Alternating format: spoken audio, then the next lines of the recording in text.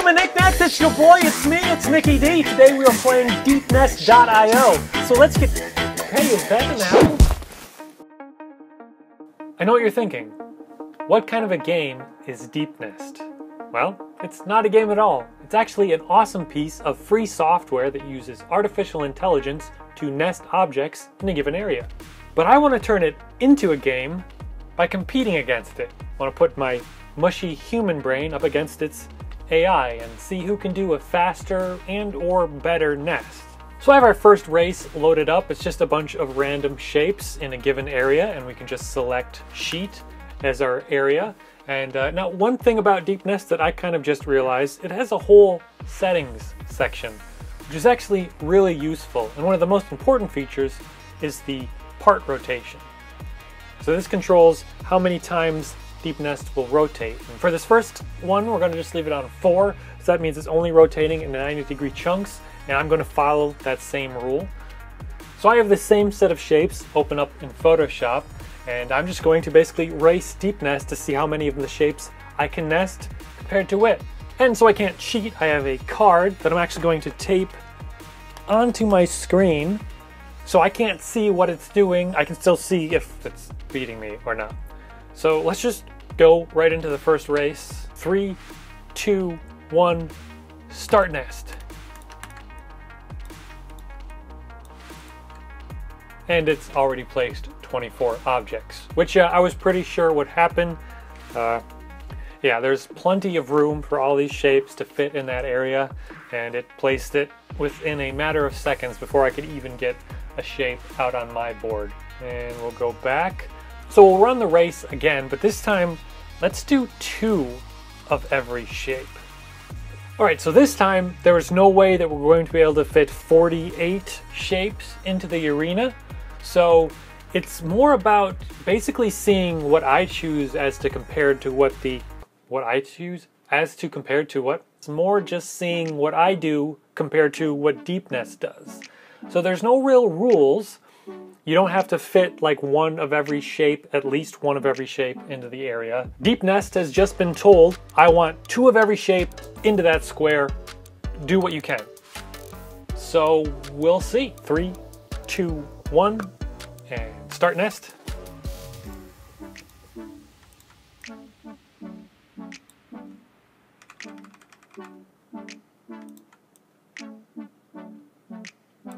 And we're still on four rotations, so only 90 degree rotations.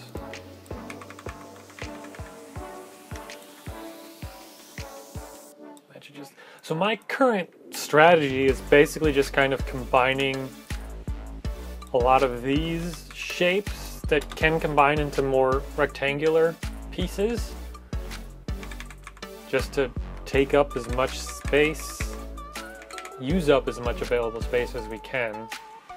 So I'm just kind of trying to find common angles, which is pretty much what the software does as well. So it's, yeah, it's at 28 already, but it seems to have, it seems to be maybe slowing down. Yeah, it hasn't changed.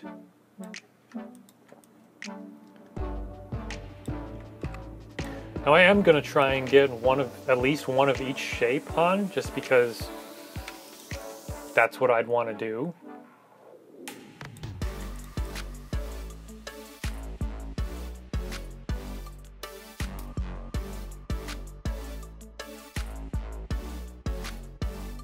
One, two, three, four, five, six, seven, eight, 30, 31, 32, 33, 34. So I've placed 34 shapes and it has been stuck at 28 pretty much the whole time. So I got just about one of each. Uh, I think I missed one of the green hexagons, but uh, I went with some of the smaller shapes um, just so that I could get them in there. Uh, there we go. So let's uh, yeah, let's see what it did. So yeah, it went with a lot of the larger shapes. Uh, it, it looks like it might have used a bit more of the area. Like the surface area of all the shapes that it shows is more than the surface area of all the shapes that I chose. but I got more shapes, 34 to 28. So uh, I say I won. Let's uh, let's continue this one a bit more, up the amount of rotations to like 16.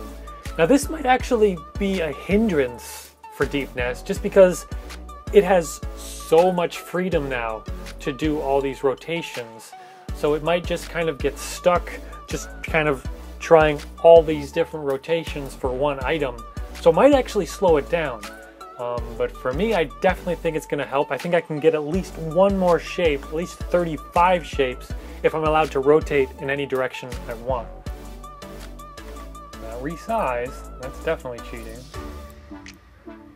So see, it's now stuck on 26. And I think by this time it already gotten its 28. So having that freedom to do any rotation it wants is definitely kind of a hindrance for the AI. But also it might be a hindrance for me. I haven't really gained much space yet, but I think I'm worse now. Maybe I, 3, 34, 35. So I did, I got one extra shape once I was allowed to rotate it any direction I wanted. And there's still a big space here, a big space here I wish I could take advantage of. All right, I'll take 36 to only 26 this time. So yeah, having the freedom of rotation didn't really help the program out that much. It did better when it was forced to work within just four rotations. Um, so that's that's kind of interesting, kind of expected, but uh, I'll take the win. All right, so let's just do one more round, uh, just some different shapes here this time. And I'm pretty sure Deep Nest will probably win round one right away. So let's just take a look. Oh, right, we still have uh, rotations turned on. So let's... Yeah, I'm going to force Deep Nest into four rotations, and I'm going to allow myself any rotations for this round. Um, but three, two, one, start. I can't. Three, two, one. I've been counting down. Have I been counting down in my words and up on my fingers? Start Nest.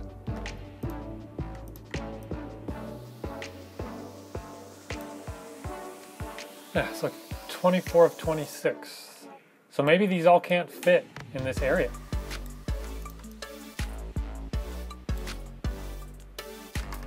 This one's cool. This one feels... I feel like I should be able to get all of this on there. Oh, 25. Oh, it's only one away though. Just start shoving this stuff up there. See, because I can do stuff like this where it currently can't. So that should be my advantage. But if it was allowed to do that, then it would be taking forever. So it's interesting.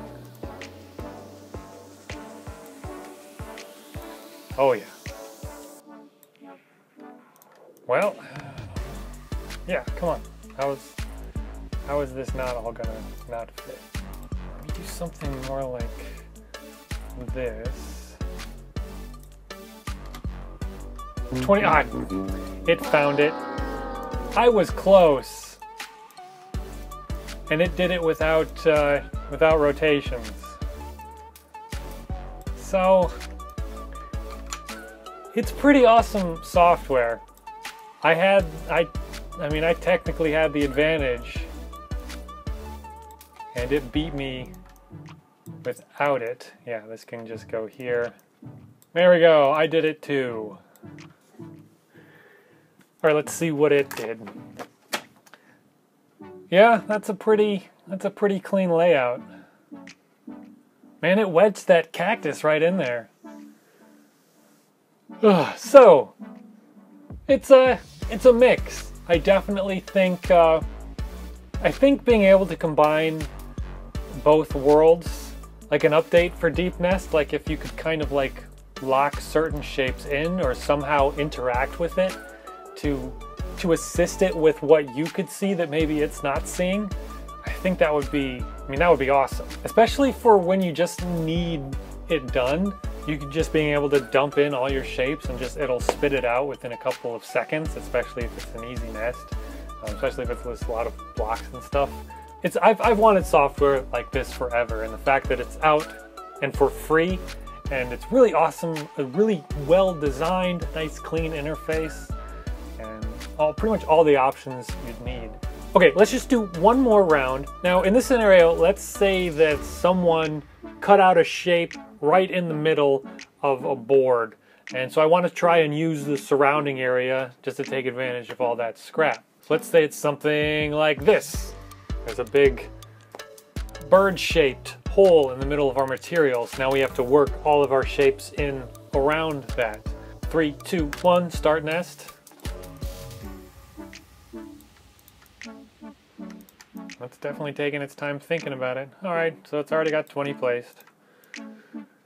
But this is just another great feature where you can basically create your scrap pieces, stuff that already has things cut out of it, and then basically Deep Nest will work its nest around that shape. So almost like the feature I was saying where it'd be cool if you could just like lock something in place that it already has. So you can kind of do that. That would be more like interactive. So yeah, we can like squeeze in this little star right in there. Now it was already pretty tight, so I'd, I'd be surprised if we could get all the shapes and our void. It's at 21. Seems to be about the best it can do. So it seems stuck at 21. If I can just get 22 shapes, then then I can win. And I'll take ah so now if I can get 23 shapes, then I can win. Watching some guy move shapes around in Photoshop. Riveting content. No, it's it's against AI. It's cool. I think I can I think I can get it. That look I see a lot of space. That's 23. Oh, oh yeah.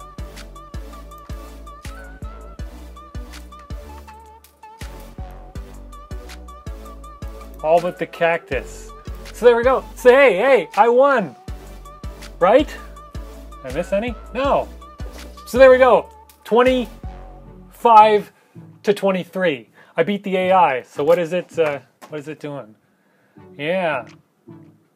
Yeah. See, see, my unlimited rotation gave me a lot of advantages in a situation like this. So if I cranked up its rotation ability, I'm sure I could definitely come up with this eventually, but it would take quite a bit of time. I don't know, looking at this, I, I bet you could squeeze this in there somehow. I think you could get them all on there. But uh, I'm gonna take the win. It's still stuck on 23. Because even, you'd have to like, even like at 100 or 1,000, it's still not an unlimited number of rotations. It's always gonna be a number. But then again, is my choice truly unlimited either? I, I'm breaking my own brain. But I'm gonna take the win. I think this was a really fun experiment. So this, this is definitely an extremely useful tool, but uh, sometimes you're still gonna be better off just doing it on your own. But it can definitely point you in the right direction and possibly give you some ideas, or you can see, well, this stuff's all good, but I can just rotate this and fit those other three things in there. So 25 out of 26. I could get that cactus in there. But anyway, I thought it was pretty fun. Stupid idea, just making a game out of piece of software that is definitely not a game. I mean, it could help you make a game. We made a game out of it. Just, I don't know, really cool look at human versus our current AI, and I mean, it's only going to get better. But uh, my sincere thank you for watching. Once again, I am Nick D. Clements. If you're wondering, Nick is short for Nicholas, and the D stands for Deep Nest. Anyway, I'm off to make something else.